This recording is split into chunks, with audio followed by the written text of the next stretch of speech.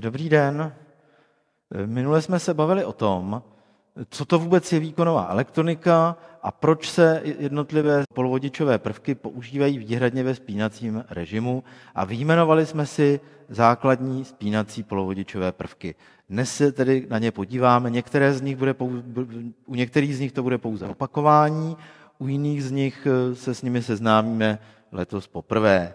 Takže začneme výkonovou spínací diodou.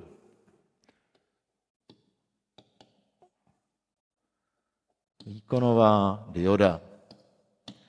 Jedná se o usměrňovací plošnou křemíkovou diodu. Připomenu voltamperovou charakteristiku diody. Nejdříve ji budu kreslit tak, že osy nejsou v měřítku. To znamená, tady jsou relativně malá napětí. Charakteristika vypadá nějak takhle, kde toto je přibližně 0,7 V. V závěrném směru pak takhle roste závěrné napětí a tady někde se prorazí.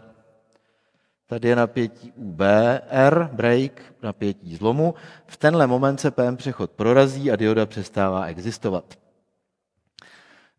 Z hlediska výkonové diody si musíme uvést pár dalších parametrů, a to je nějaký proud IFAV a proud IFSM. Jinak propustný směr budu označovat zkrátkou F jako forward, závěrný R jako reverse. Tady před tím, závěr, před tím průrazným napětím jsou ještě nějaká tři napětí, a je tady takhle vytáhnu. A jsou to napětí URVM, URRM a URSM. Ty zkratky. Tady F je forward, první R je reverse. S jako shot, neboli výstřelkový, eh, český technický termín je neopakovatelný, ať už napětí nebo prout. Eh, zkrátka R, tady to druhé R, je repeatable neboli opakovatelný a S eh, a dvojité V work je pracovní. Ten FAV je proud, který je střední hodnota AV od average, Střední hodnota proudu trvalá, takže trvalá střední hodnota.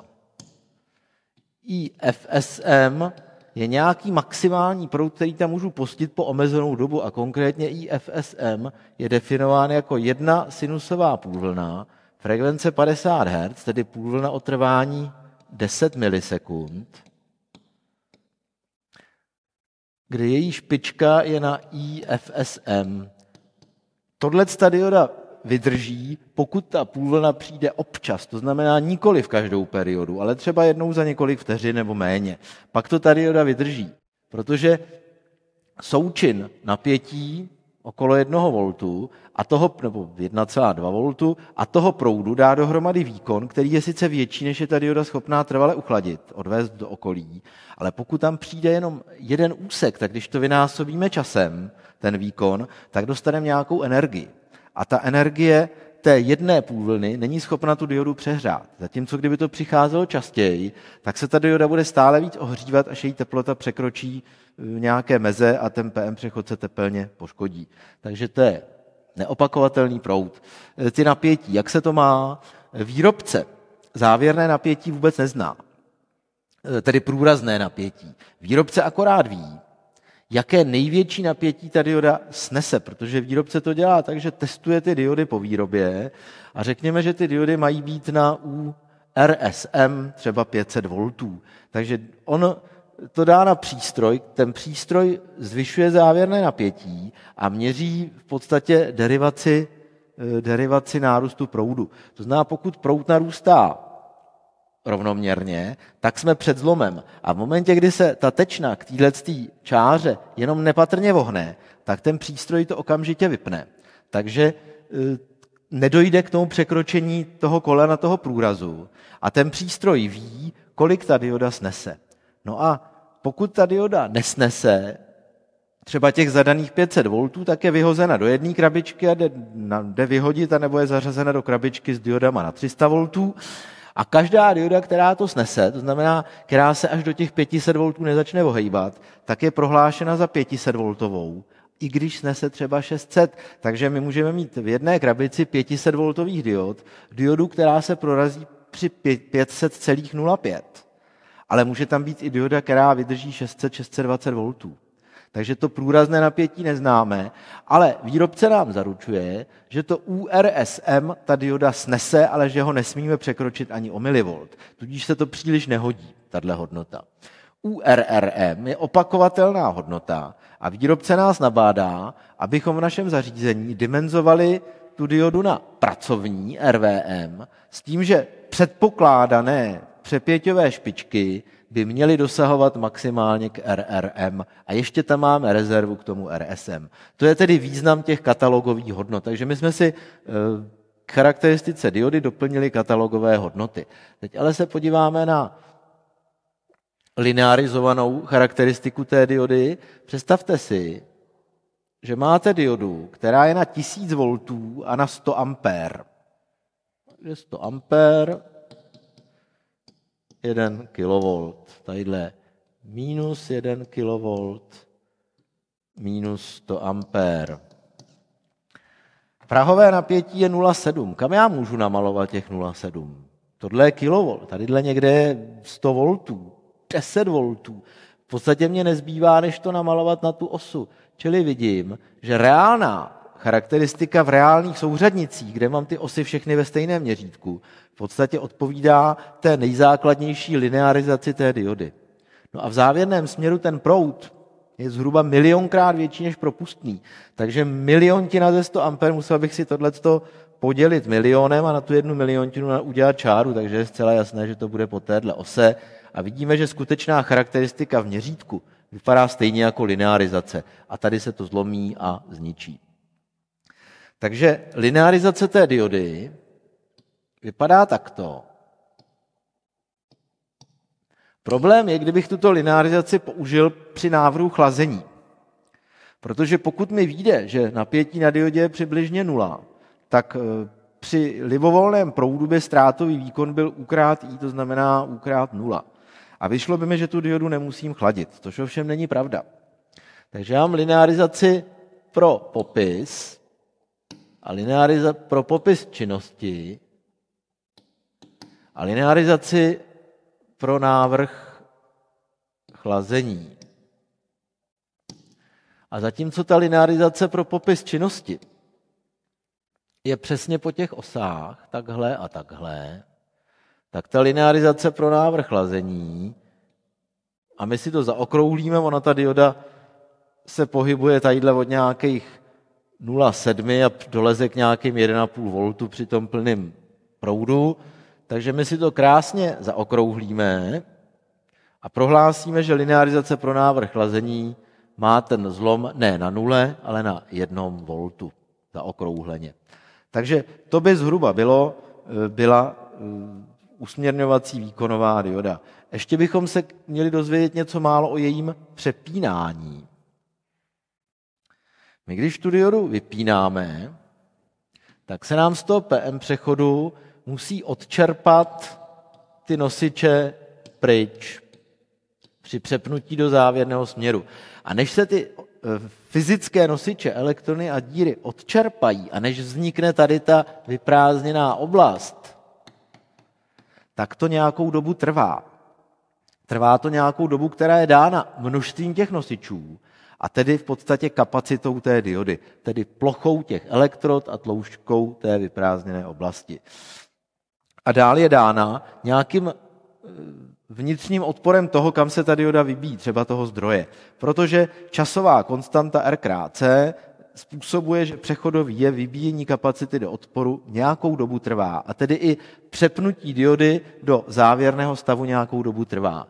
Pokud máme na diodě nějaké napětí 0,7 a ta dioda vede. A my tu diodu přepneme, to udělá menší, takhle. Tohle je napětí, tohle je čas. A my ty diodu přepneme do závěrného směru. Tady je nějaké minus U. Tak co se bude dít s proudem? To bude proud okamžitý. Tou diodou teče nějaký proud do zátěže. Ten proud je daný napětím zdroje a odporem zátěže. A v tento moment se začnou odčerpávat nosiče z té diody. Ta dioda se chová jako kondenzátor a vybíjí se. A vybíjí se nějak takhle. Nějakou dobu jí to trvá a tadyhle, takhle ten proud klesne k nule. Protože na začátku ta dioda se stane v podstatě vodičem. Jo? Poteče jí záporný proud a teprve, když se to vybije, tak ten proud klesne na nulu. Tohle je doba vypínání.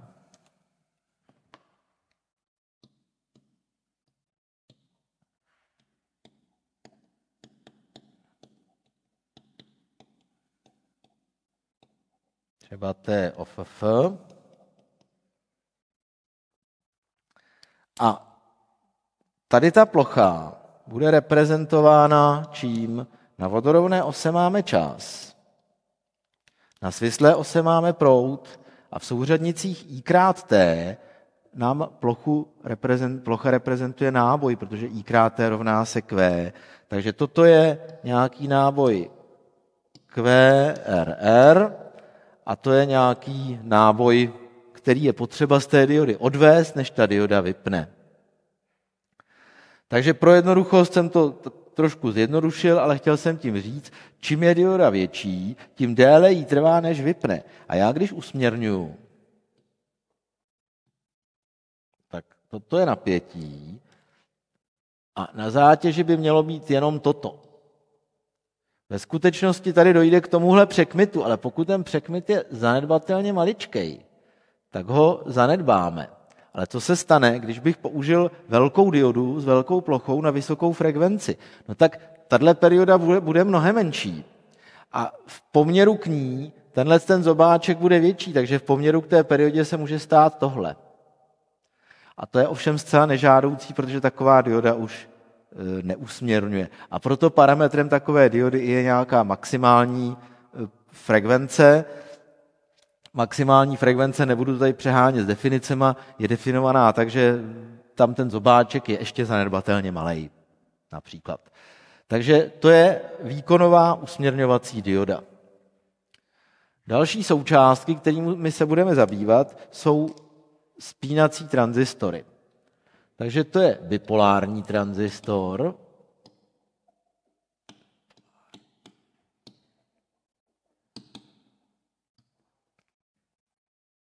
který má bázi, kolektor a emitor. A my víme, nebo bychom z loňského roku měli vědět, že tranzistor, a já teď budu malovat jenom výstupní charakteristiku, ne celou sadu charakteristik, že tranzistor má výstupní charakteristiky CE, IC, nějaké takovéhle. Tak a vzpomeňme si na loňský rok. Linearizace v zesilovacím režimu znamená protažení těchto vodorovných čár a počítání jenom s nimi. Jenomže ve spínacím režimu toto je oblast, kde pracovní bod být nesmí.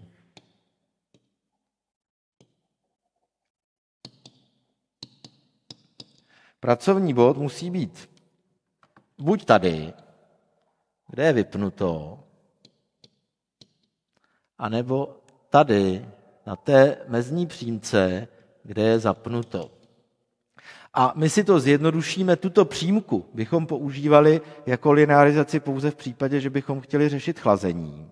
Pokud chceme řešit funkčnost, tak zanedbáme napětí na kolektoru a prohlásíme, že v sepnutém stavu je na něm nulové napětí. Takže linearizace pro spínací tranzistor je vypnuto, zapnuto. Co se týče obvodu, takhle máme tranzistor, takhle máme nějakou zátěž, tady máme napájecí napětí. Sem pouštíme proud báze. Pokud je tranzistor rozepnut, IB rovná se 0, IC rovná se 0, UCE, když tady je 0, tak tady musí být celé napájecí napětí podle Kirchhoffova zákona, rovná se UC. A toto je stav rozepnuto.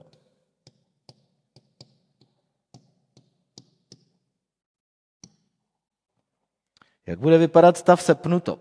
Budeme předpokládat, že, transi- že proud báze je dostatečně velký, aby ten tranzistor byl sepnut. Ten tranzistor nemá na kolektoru žádné napětí, protože se chová jako sepnutý spínač, tedy jako vodič. Takže UCE rovná se přibližně nula. A z toho vyplývá, že proud obvodem, pokud je toto nějaký odpor RC, takhle teče proud IC, tak proud IC se musí rovnat UC lomeno RC v sepnutém stavu. Jaký musíme pustit proud IB? IB rovná se IC lomeno H21. Pokud tam pustíme menší proud než tento, tak eh, ten tranzistor se dostane do zesilovacího režimu a v případě eh, výkonové aplikace pravděpodobně schoří. Pokud tam pustíme o něco větší proud báze, než je ten minimální nutný, tak se nic nestane, je to jenom dobře, protože ten tranzistor bude spolehlivěji sepnut. Takže proud báze musí být větší nebo rovno tady tomu, tedy UC lomeno RC krát H21. A tohle je sepnuto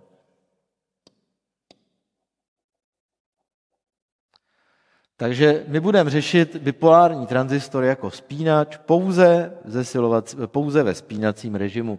A ještě jednou na závěr tranzistoru připomenu linearizace.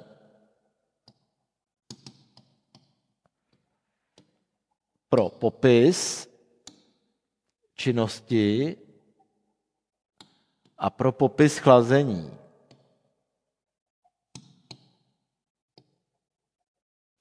Pro popis činnosti je to pouze rozepnuto a sepnuto, takže vyp a zap. Pro popis chlazení je to opět vypnuto, ale zapnuto je mezní přímka. Dalším, další spínací součástkou je tranzistor typu MOSFET. A mě už koukám, došla tabule, takže si ji smažem. Takže unipolární tranzistor. A nebudeme se zabývat tranzistorem JFET, ten se pro spínací účely nepoužívá, takže je to typicky tranzistor MOSFET. Schematická značka je takováto v případě tranzistoru s kanálem No.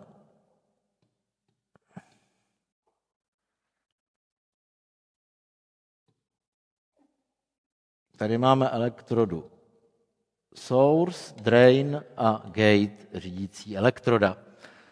E, voltampérové výstupní charakteristiky jsou následující. UDS, ID, zase budu používat jenom první, jenom charakteristiku výstupní jsou velmi podobné tranzistoru bipolárnímu, akorát, že nemají společnou mezní přímku.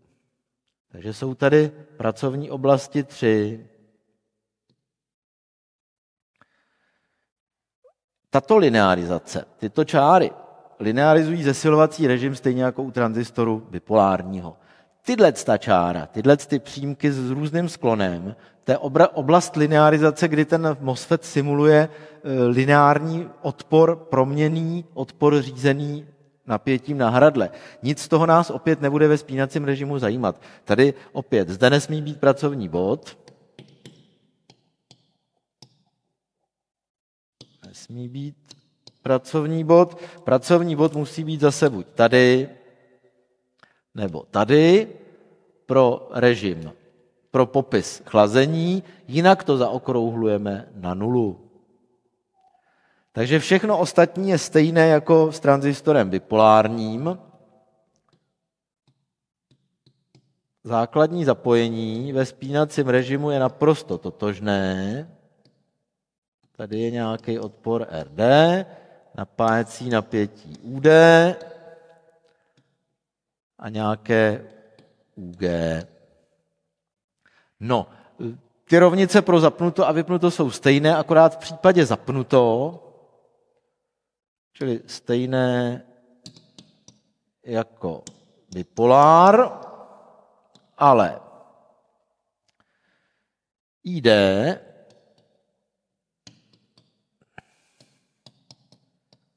rovná se UD romeno RD.